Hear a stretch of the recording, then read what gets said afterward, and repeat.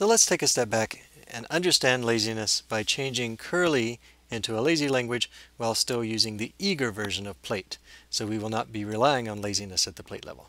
That is, we're going to have a, a language that still has numbers uh, and identifiers and plus and times and lambda and application, but the rules of evaluation are going to change so that when a function call is made to a function that doesn't use its argument, then the argument expression is never evaluated.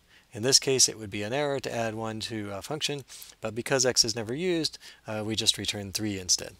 Meanwhile, uh, lambda x.x does use its argument, so that would trigger the error. It would force the evaluation of the argument expression.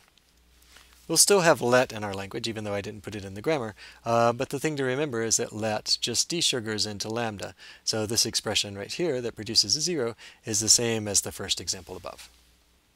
To make that a little more concrete, here is our interpreter in the eager language. It's not what we want right now because we want to be able to add that kind of test case.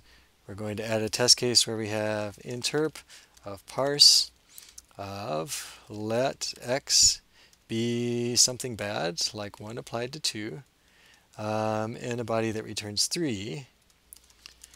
And we want this to return 3 and not get an error. That is, we want to take this expression and turn it into a new test case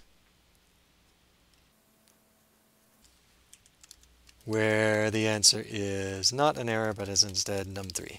That is our goal to make this test pass, along with all the other tests that we're already passing. Right now, this new test will fail because we get an exception, but, um, but we want to make it work. And we already know one way to do this. The first way we can do this is change it to, to lazy, and now that test will pass. But that's not what we want. We want to implement laziness ourselves, staying in the eager version of Plait. So we rule out option 1, but let's remind ourselves one more time why option 1 works. It works because Plait lazy delays the evaluation of this interp call until the time, if ever, that uh, some other expression looks up this binding in the environment. So option 2 then, to implement it ourselves, means explicitly delaying the argument interpretation. That is, we can change the interp here to some delay where we implement delay as a record that just saves the argument and its environment for interpreting later. That is, we have a new kind of record called a thunk, which has that argument and environment in it, and we change our environment so that it maps names not to values, but instead to thunks. So when we extend the environment in a function call, we put a delay in there. The only time this delay is ever seen is when we have an identifier expression and we look in the environment.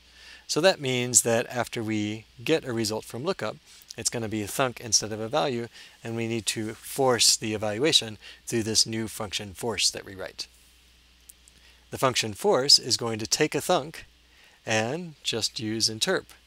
Um, that thunk has an expression and an environment inside of it, and so we can just pass those on to interp to get a value to return for the ID expression. So that's what we have in the lazy.racket interpreter. You can see that it's implemented in regular eager Plait. Uh, we have thunks, we have bindings that map names to thunks. And if we go down to our tests, then we have that test that we just wrote in the other interpreter, the one where we have an error bound to x, but we don't use x, so we get a 3 out. When we run our test, this test now passes. And this means that we have implemented laziness ourselves, since we're still running in an eager version of Plait.